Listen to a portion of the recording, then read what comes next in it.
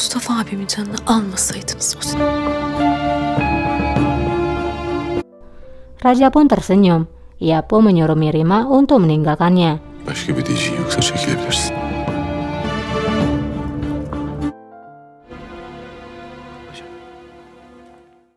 Kembali ke Edirne, UP Pasa pun akhirnya tiba. Atmaja menanyakan apakah dirinya telah berbicara dengan Pangeran Mustafa.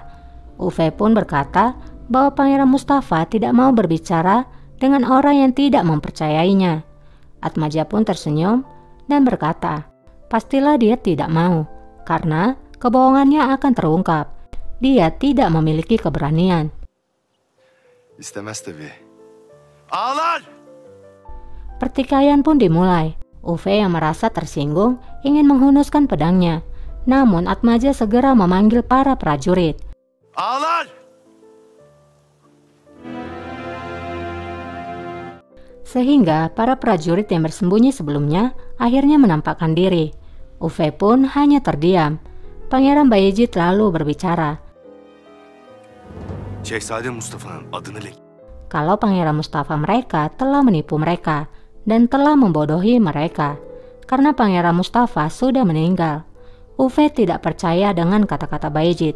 Pangeran Mustafa masih hidup karena Pangeran Mustafa berhasil melarikan diri dari camp. Şehzademiz hayatta. Ordugahtan kaçtı, kurtardı canını. Keşke dediğin gibi olsaydı. Bayezid pun berkata, Aku juga berharap kalau apa yang kamu ucapkan itu benar, sehingga kakakku masih hidup, sehingga dia bisa memimpin kita. Uve pun bertanya-tanya, siapa pria yang ada di hadapannya? Mengapa ia menyebutkan kakak kepada Pangeran Mustafa? Sen kimsin? Edebinle konuş. Atmaja menjawab kalau Uve harus menunjukkan rasa hormatnya karena ia sedang berbicara dengan Pangeran Bayezid. Namun Uve tidak percaya. Ia malah mengatakan, bagaimana kami tahu kalau kamu memang benar-benar Pangeran Bayezid? Karşında Şehzade Sultan Bayezid Hazretleri Senin gerçekten Şehzade Bayezid olduğunu.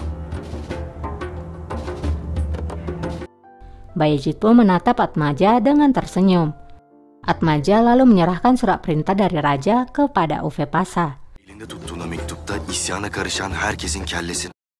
Bayezid menjelaskan kalau raja memberikan perintah padanya untuk mengeksekusi semua orang yang melakukan pemberontakan. Lihatlah capnya. Apakah kamu menyadari kalau itu adalah asli? Tuğra'ya bak. Hakiki olduğunu anlayacaksın. Edirne'de binlerce asker şu anda... Uve pun melihatnya dan kemudian menatap Pangeran Bayezid dengan takut. Bayezid menambahkan, kalau seribu pasukan tentara saat ini berada di Edirne dengan satu perintah, maka kalian semua akan dibantai. Jika aku mau, saat ini kau bisa mati dengan para pemanahku.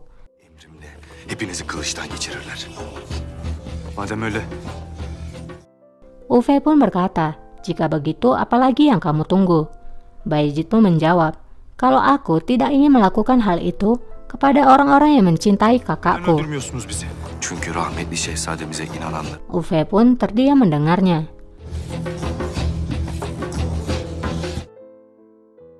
Hünkârımızın sana olan öfkesi... Di Istanbul, Mirima dan Rustem pun bertemu di taman.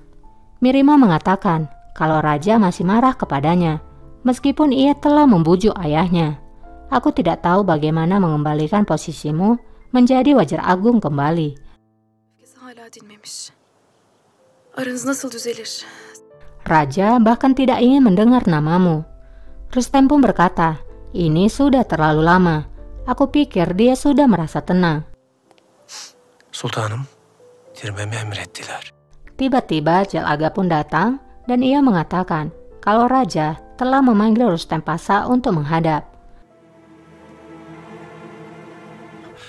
Yoksa kellem gidecek. Rustem pun merasa ketakutan. Ia meminta Mirima untuk menyelamatkannya, kalau tidak raja akan mengeksekusi diriku.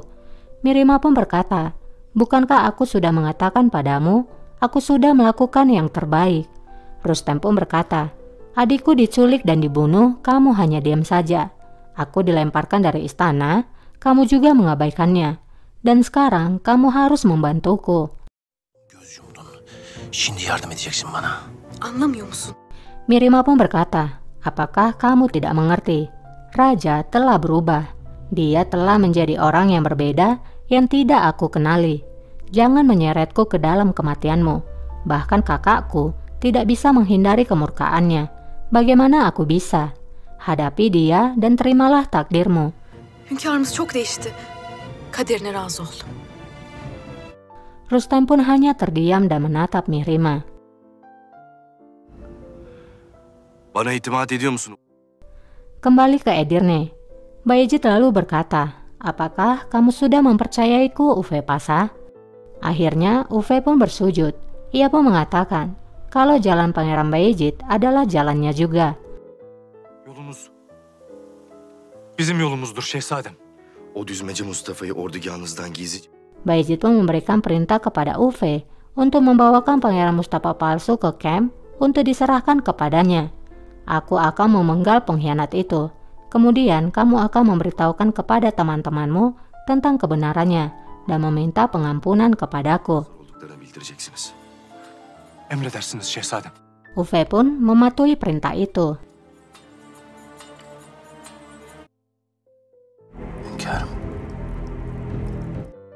Kembali ke Istanbul.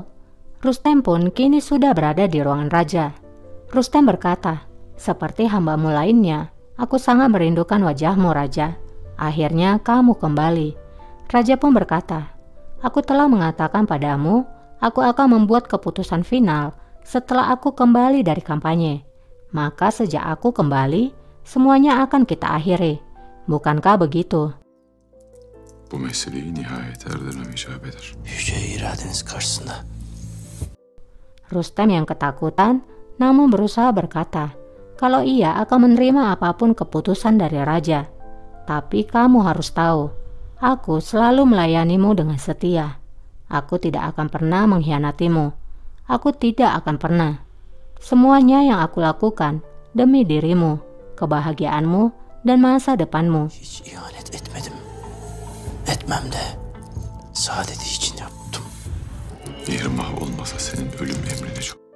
Raja pun berkata, jika bukan karena Mirima, maka aku sudah memenggalmu sejak dulu. Demi putriku, aku melepaskan nyawamu. Sekarang pergi dan jangan pernah muncul di hadapanku lagi. Ya, jadi raja mengampuni Rustem Pasa tapi tidak mengembalikan posisinya. Raja pun melanjutkan, Jagalah Mirima dan cucuku Humasa. Kamu bisa pergi sekarang. Emredersiniz hünkârım. Ne dedi hünkârımız? Saat di luar ruangan, Huram dan Mirima ada di sana. Huram menanyakan apa yang dikatakan oleh raja. Apakah ia mengembalikan posisimu? Sadarete dönecek misin? Ne sadaleti sultan. Rustem pun menjawab, posisi apa sultana? Aku nyaris tidak bisa melarikan diri dengan hidupku. Canımı zor kurtardım. Derhal Ramazan ağa'yı yollamanı. Ramazan ağa yok şehzadem. Biz yokken Mehmet Paşa geldiler şehzadem. Di Edirne, Bayezid kembali ke istana. Penjaga menyampaikan bahwa Ramajan telah pergi bersama Sokulu. Raja mengirimkannya untuk menghancurkan pemberontakan, dan dia telah pergi bersama Ramajan dan pasukan tentara. Bayezid pun terkejut mendengarnya. Semua telah di luar kendalinya.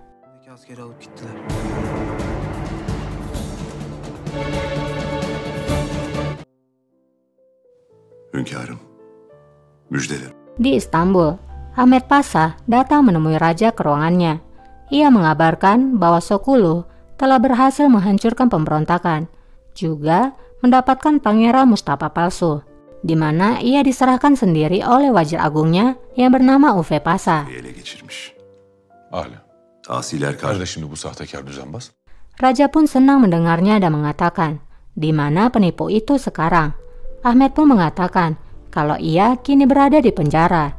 Raja pun menanyakan bagaimana dengan kabar Bayezid. Ahmed pun menjawab, kalau sebenarnya ia tidak ingin mengatakannya, kalau Pangeran Bayezid nampaknya tidak menganggap serius perintahmu. Dia melakukan negosiasi dengan para pemberontak dan membuat kesepakatan. Raja pun terkejut mendengarnya. Bagaimana bisa putraku membuat kesepakatan dengan pemberontak? Ahmed pun menjawab, kalau hal itu bukan untuk niat yang buruk, tapi karena kurangnya pengalaman. Raja pun marah dan berkata kalau Ahmed tidak perlu membelanya. Katakan saja apa yang terjadi. Ahmed pun berkata kalau Pangeran Bayezid tidak mau mengangkat pedang kepada orang-orang yang mencintai Pangeran Mustafa. Mereka berjumlah ribuan. Raja pun terkejut dengan jumlah pemberontakan itu. Ia pun bertanya siapa mereka. Bagaimana bisa mereka bertambah banyak dalam waktu singkat? Ahmed pun mengatakan, menurut apa yang dikatakan orang-orang, Pangeran Bayezid mendukung mereka dengan mengirimkan emas kepada mereka. Raja pun marah dan berkata, apakah Ahmed tahu apa yang dibicarakannya? Bagaimana bisa mereka memfitnah putraku seperti itu? Kim benim şehzademe böyle... Bağışlayın. Buna zerrece ihtimal. Ahmed pun berkata, maafkan aku rajaku. Aku juga tidak berpikir kalau pangeran kita akan melakukannya. Pangeran kita tidak akan pernah mengkhianatimu. Tapi tugasku hanya menginformasikan rumor ini. vermem. Şehzademiz katiyen size ihanetize arz etmeyi icap ettirir. Yanımız yolladılar. Di Edirne, Sokulu menerima surat dari Sultan Sulaiman. Ia pun membuka surat itu dan lalu membacanya. Sementara di ruangannya, Bayezid sedang bersama dengan Atmaja. Dia nampak sangat gelisah. Atmaja berkata, kalau Ufe sendiri yang telah menyerahkan Mustafa palsu, sehingga Sokulu memberikan hadiah kepadanya. Bayezid pun menjawab, sekarang aku tidak akan bisa memimpin orang-orang yang mencintai Pangeran Mustafa lagi. Tidak lama Sokulu lalu masuk dan memberikan surat dari raja yang mana Pangeran Bayezid diminta segera kembali ke ibu kota. Setelah membuka dan membaca surat dari ayahnya, Bayezid lalu mengatakan, kalau ada orang-orang yang telah memfitnahku dengan mengatakan kalau akulah yang membantu pemberontakan ini dan mengirimkan emas kepada mereka sebagai dukungan. Raja ingin tahu kebenarannya sehingga ia memanggilku ke ibu kota. Bayezid pun mengatakan pada Sokulu untuk membuat surat balasan kepada raja. Katakan kalau tuduhan itu tidak berdasar dan ada seseorang yang telah memfitnahku. Aku tidak akan datang ke ibu kota sampai mereka menemukan bahwa ini adalah jebakan bagiku. Payitahta dönmeyeceğim. Siz bilirsiniz şehzadem. Sokulu pun menjawab, kamu tahu yang terbaik. Tapi jika aku membalas surat seperti yang kamu katakan, maka itu berarti kamu telah menerima tuduhan ini sebagai kebenarannya dan kamu sendiri sudah memulai pemberontakan. Isyan etmiş olursunuz. Senin ne haddine benim kararlarım? Bayezid pun marah dan mengatakan kalau Sokulu harus melakukan apa yang ia katakan. Tartışmak. Ne dediysem onu yapacaksın. Atmaja yang melihat bahwa tindakan pangerannya tidak benar, ia pun meminta untuk berbicara berdua dengannya. Bayezid pun menyuruh Sokulu untuk keluar dari ruangannya. Setelah Sokulu keluar dari ruangannya, Bayezid pun berkata kalau Sokulu juga terlibat dalam hal ini, juga Ahmed Pasa. Mereka berdua adalah anjingnya dari Selim. Mereka telah bersama-sama menjebak diriku. Sokulu da bu işin içinde atmaca. İkisi de Selim'in köpeği olmuş. Atmaja pun menjawab, aku mengetahuinya, karena itu kita harus bertindak hati-hati untuk setiap langkah yang kita ambil. Keadaan saat ini sangat sensitif. Aku takut apa yang dikatakan Sokulu adalah benar. Jika kamu tidak kembali ke ibu kota, maka itu berarti kamu membuka pemberontakan, dan kamu akan membantu mereka menjadi menang. Dikkat etmek zorundayız. Bazı payitahta gitmezseniz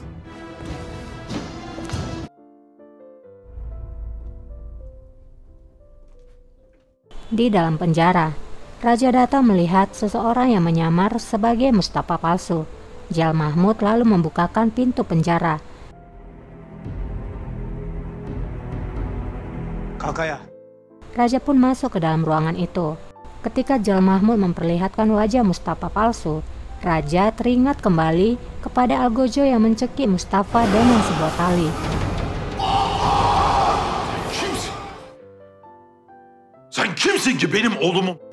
Raja murka kepada si Mustafa palsu.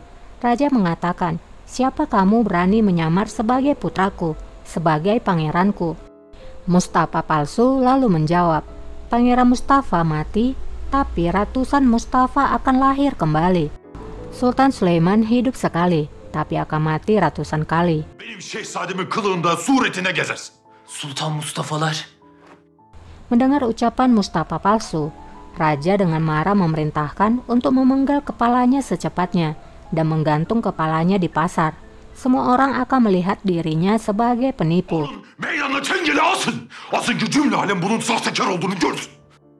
Raja ingin keluar dari penjara itu, namun nampak kesakitan hingga Jal Aga mendekati Raja. Namun tiba-tiba dia memegang leher Jal Aga dan berusaha mencekiknya.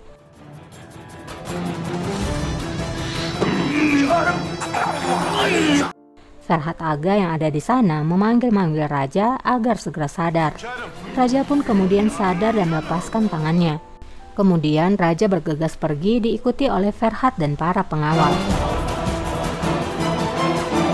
Nampaknya Raja mencekik Jal Aga karena ia ingat Jal Aga lah yang mengeksekusi Pangeran Mustafa dahulu.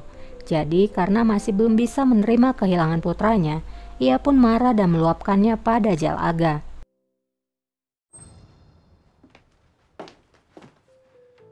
Paşa Hazretleri, Kembali ke Edirne, Atmaja keluar dari ruangan Bayezid dan menemui Sokulu yang berdiri menunggu keputusan pangeran.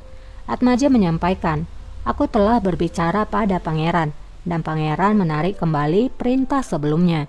Sokulu yang tidak mengenali Atmaja pun bertanya siapa dirinya dan posisi apa yang diberikan oleh pangeran kepadanya. Atmaja pun mengenalkan dirinya kalau ia adalah mantan prajurit dan pangeran telah memberikan anugerahnya kepadaku sehingga aku sekarang menjadi seorang penasehatnya. Sokulu pun berkata, aku sepertinya pernah melihatmu sebelumnya, tapi aku tidak tahu di mana. Lalu apakah keputusan pangeran, ia akan kembali bersamaku ke ibu kota. Seni bir yerden hatırlayacağım ama şimdilik bekleyeceğiz. Atmaja pun berkata, kalau mereka akan menunggu pangeran untuk memutuskannya, aku akan berusaha meyakinkannya dan kamu akan tetap diam. Jika kamu menulis surat ke ibu kota, maka kamu akan menambah musuh bagimu dan musuhmu itu adalah Pangeran Bayezid. Ve bu düşman Şehzade Bayezid olur. Bayezid'i hainlikle. Di taman istana, Hurrem Mirima dan Rustem bertemu. Hurrem mengatakan kalau putranya Bayezid telah dituduh menjadi pendukung para pemberontakan. Aku kenal putraku. Dia akan menjadi keras kepala dan tidak mau kembali ke ibu kota ketika dia tahu rumor ini. Mirima pun berkata pada Rustem, kalau Rustem harus membawa Bayezid kemari. Semuanya akan memburuk jika Bayezid tidak kembali dan bisa-bisa raja akan mengirimkan prajurit untuk membawanya. Getirmelisin. Gelmezse işler sarpa sarar. Allah korusun. Rustem pun berkata, kalau sampai pangeran tidak kembali, maka bisa-bisa raja akan mengeksekusi pangeran. Hurem dan Mirima menjadi sangat ketakutan mendengar ucapan Rustem itu. Hurem segera menyuruh Rustem untuk ke Edirne menjemput pangeran Bayezid. Aku telah kehilangan Mehmet dan Cihangir. Aku tidak bisa kehilangan Bayezid lagi. Rüstem. Derhal Edirne'ye git. Oğlumu buraya git. Rahat olsun sultanım. Ne yapar ne eder? Rustem pun menjawab, tenanglah Sultana, aku akan ke sana dan dengan seluruh kekuatanku aku akan membawa Pangeran Bayezid kembali. Tapi jangan lupakan hari ini. Jangan pernah lupakan siapa yang berdiri di sampingmu di saat masa-masa sulitmu. Hurem dan Mirima pun terdiam. Buradayken yanınızda kim vardı zinhar unutmayın.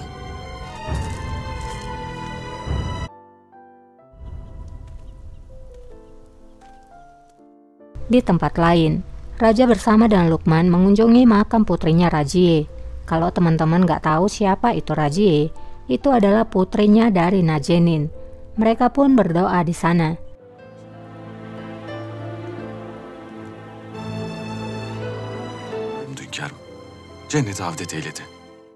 Tiba-tiba Yahya datang. Raja hendak memeluknya tapi Yahya? Yahya tidak mau.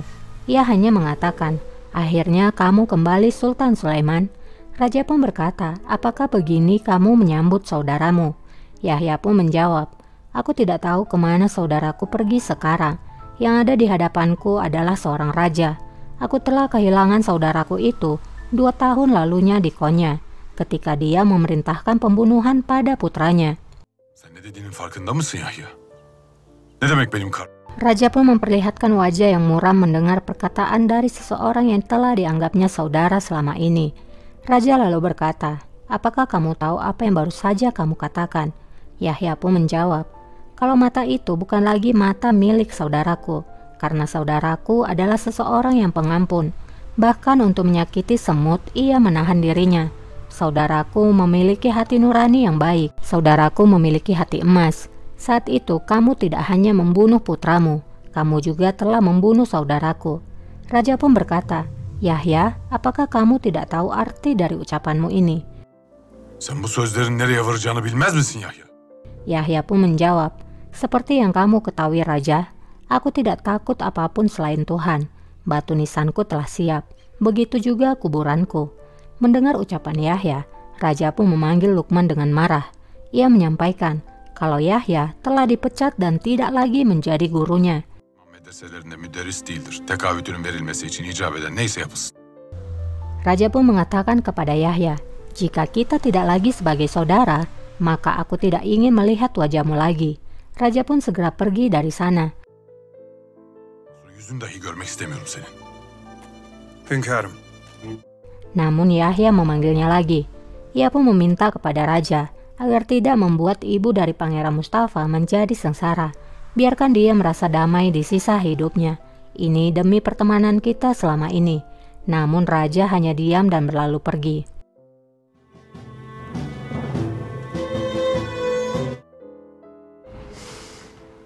Şehzadem, Di Edirne, di dalam ruangan, Bayezid mondar-mandir gelisah. Atmaja berusaha meyakinkan Pangeran Bayezid untuk kembali saja ke ibu kota. Hurem Sultan dan Merima akan melindungimu dengan hidup mereka. Raja juga tidak akan percaya dengan fitnah ini. Bayezid pun berkata, Mengapa kamu berkata seperti itu Atmaja? Bukankah kamu melihat sendiri, Raja telah membunuh Pangeran Mustafa di depan matamu? Bagaimana jika itu terjadi juga padaku? Tidak, aku bukan kakakku Pangeran Mustafa. Aku tidak akan berjalan menuju kematianku. Onun gibi ölüme kendi ayağımla gitmem. Bağışlayın şehzadem. Atmaja lalu berkata, Maafkan aku pangeran, tapi kamu harus datang dan menjelaskan kebenarannya kepada raja. Orang-orang yang mengikuti Pangeran Mustafa tidak mendukungmu. Kamu tidak sekuat Pangeran Mustafa. Kita tidak memiliki kekuatan. Jika kita tidak kembali ke ibu kota, maka raja akan mengirimkan prajurit kemari dan membawamu. Maka kita sudah tidak bisa tertolong lagi. Hünkârımız asker yollar. Bir çare kalırız. Mendengar ucapan Atmaja yang memang kenyataannya mereka tidak punya dukungan siapa pun, ia pun merasa tersinggung. Ia lalu mengusir Atmaja dari ruangannya.